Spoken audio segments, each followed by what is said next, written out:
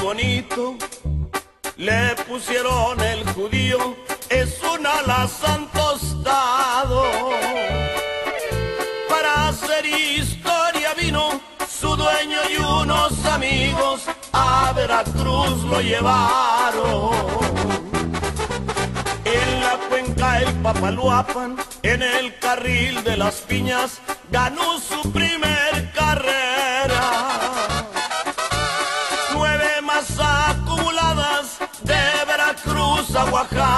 Contra bestias muy ligeras.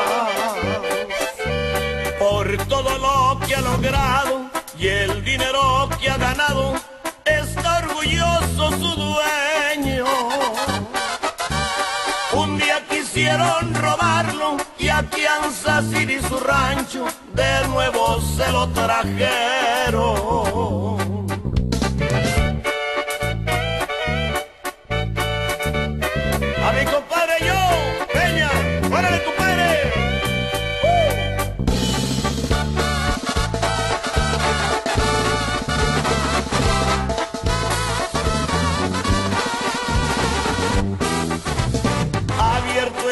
50 yardas, carril de Wichita, Kansas, le jugó al pata de palo.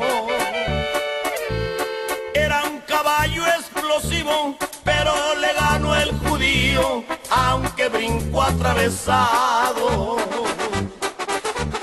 En el rancho Benjamín, una tarde de domingo, a una tercia lo metieron.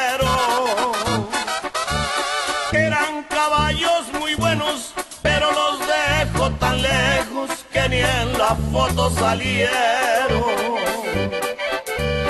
Hay una lista muy grande de triunfos sin mencionarles en la historia del judío. Mejor hasta ahí la dejamos porque si sigo contando nunca termino el corrido.